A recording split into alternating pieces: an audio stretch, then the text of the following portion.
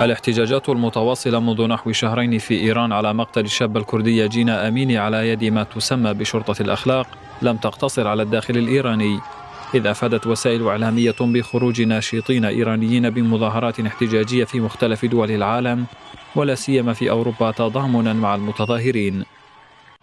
مصادر أشارت لاستمرار اعتصام أعضاء الجماعة النسوية في ألمانيا أمام مكتب حزب الخضر تنديدا بحملة القمع ضد المحتجين في إيران.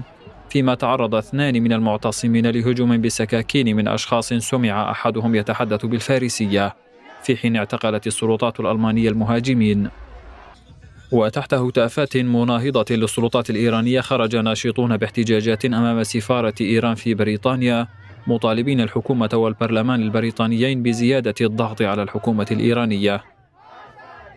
وفي سويسرا والسويد وبلغاريا والدنمارك وإيطاليا أعرب المتظاهرون عن دعمهم للمحتجين في إيران وقلقهم من أحكام الإعدام بحق النشطاء التي أصدرتها السلطات الإيرانية.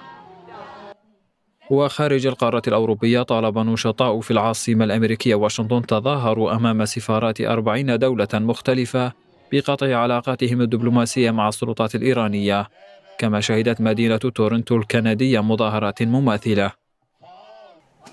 وفي أستراليا شهدت مدينة بريسبين احتجاجات ضد مقتل المدنيين في محافظة سيستان وبلوشستان وأحكام الإعدام ضد معتقلي الاحتجاجات.